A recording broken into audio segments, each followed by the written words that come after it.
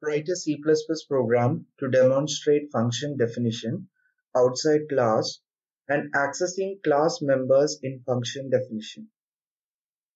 For this, we have to create a class named rectangle with two data members length and breadth and include the constructor to initialize the data members and a method to find the area of rectangle. Define both the constructor and member function outside the class.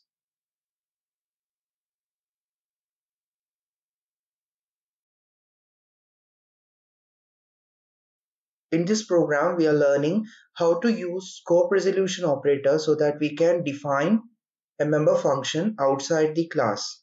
A member function can be declared inside the class and it can be defined outside. We created a class which is named as rectangle. Inside the class rectangle, we declare two data members of integer type named as length and breadth. Both length and breadth are in the private section of the class.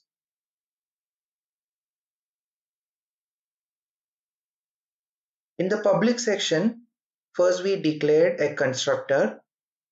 The constructor has the same name as a class name. It takes two parameter, so it is a parameterized constructor, two integer parameters. Then we declared another member function which is named as find area which is used to find the area of rectangle and return the result. So return data type of find area is int. Now we are defining the constructor and the member function outside the class. First we are defining the constructor. So since the constructor does not have any return data type, so it starts with the class name. Class name is rectangle followed by scope resolution operators.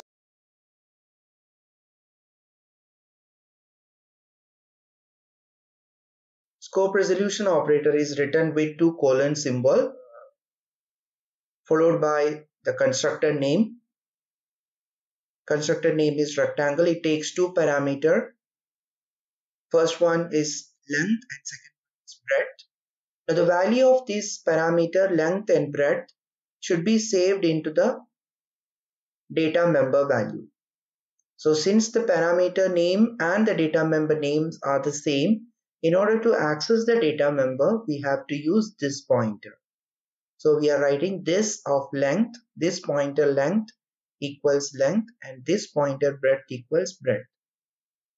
So the value from the parameter length will get stored into the data member length. Similarly, the value from the parameter breadth will get stored into the data member breadth. Now we are defining the member function find area.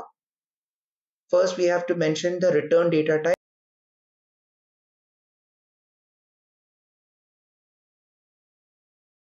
The return data type of the function is find area function is int followed by the class name. The class name is rectangle followed by scope resolution operator. Two colon symbol is used for scope resolution operator followed by the function name. Function name is find area. It does not takes any parameter. The find area function will find the area of a rectangle. The area of a rectangle is length into breadth and the result will be returned.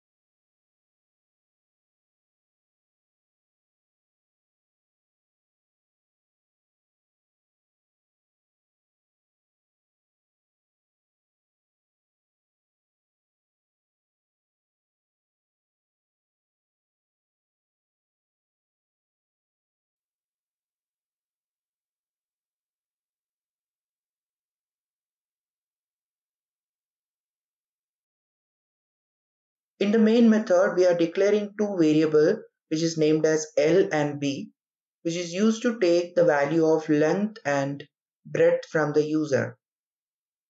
So we write cin L and similarly cin followed by extraction operator and B. So L and B are two variables which are used to accept the value of length and breadth from the user. Then after that we are creating an object for the rectangle class. The object is created as rectangle R1. Now rectangle constructor we have mentioned with two parameters. So L and B value will be passed into the constructor during the creation of rectangle object R1 so we have written R1 of L comma B. So L will go to the length and B will go to the breadth during the constructor call.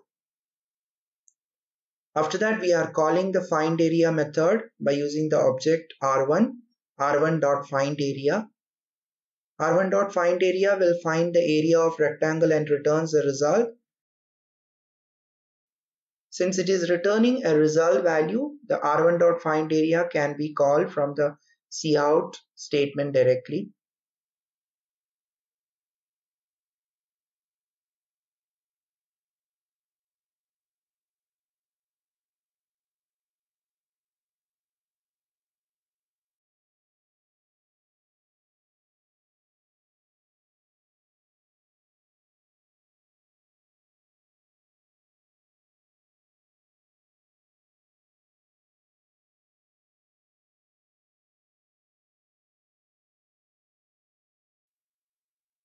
Execute and see the program output.